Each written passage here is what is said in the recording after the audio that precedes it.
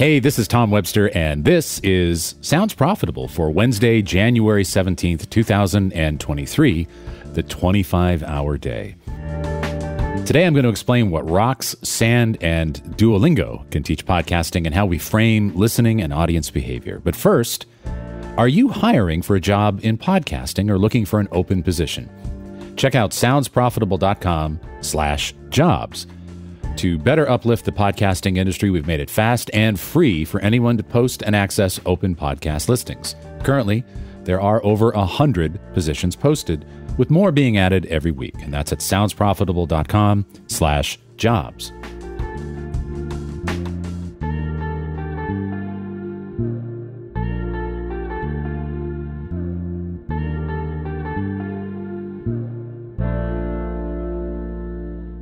Okay, steal this idea.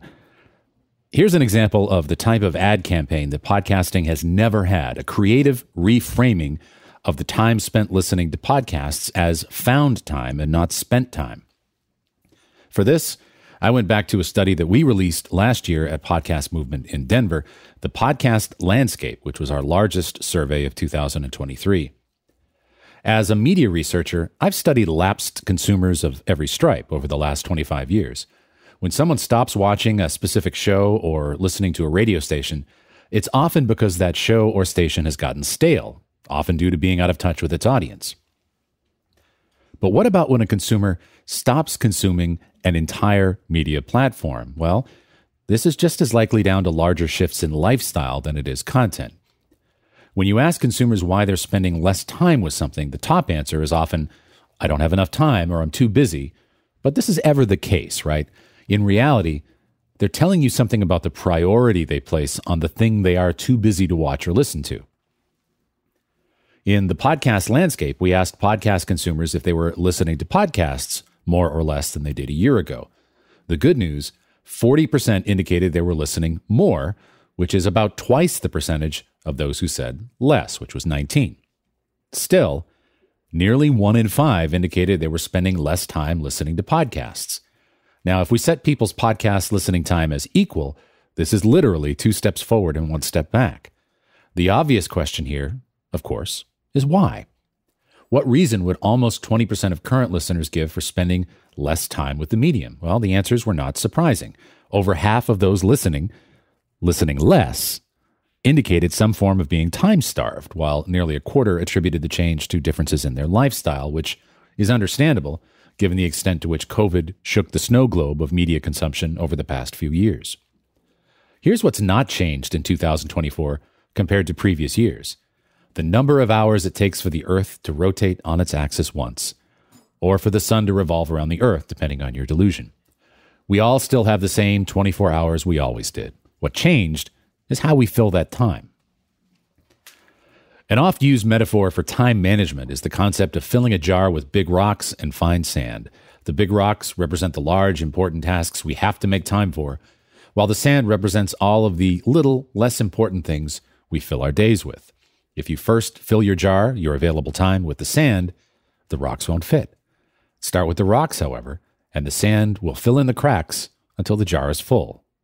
I just saved you a fortune on productivity courses. Well, podcasts are part of the sand, and we have more room in our jars for sand than we think.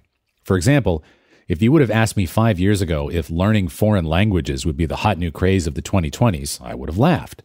And yet here we are in 2024 watching apps like Duolingo and Babbel turn tens of millions of Americans back into students. Duolingo alone has more than doubled its monthly active users in the past five years. Now, how did learning a foreign language go from a nuisance undergraduate requirement to a thing that my wife and I spend hours a week on? Duolingo transformed learn a foreign language from being a big rock to just a few grains of sand. I've recently been trialing a number of health and fitness apps, and some of my favorite ones have an onboarding process that asks you some version of this question How much time would you like to spend with this app each day? Zero to five minutes, five to 10, 10 to 15. This is the adult equivalent of asking a child, Would you like to clean your room before or after dinner? You still get the room cleaned, and they feel like they had a choice. This is a key to behavior change. Back to podcasting. The ironic thing about podcasts is that they actually are designed for people who are time starved. One of the central benefits of podcasting is the fact that it's on demand and allows you to time shift your listening to wherever and whenever is convenient. In fact, podcast listening is even more convenient than Duolingo. You can't learn French while you're driving, really. Podcasts are the ultimate grain of sand because they can fit into more places than any app or video. They just need to be reframed from thing that takes your time to thing that gives you more time. It's doubtful that the average person would say they have an extra hour a day to devote to podcast listening. But podcasts could be positioned as something that give you an extra hour you didn't even know you had, the 25th hour of this podcast's title. If they can be framed as a way to grab five minutes to yourself away from a screen in those little pockets of time that we all know we have.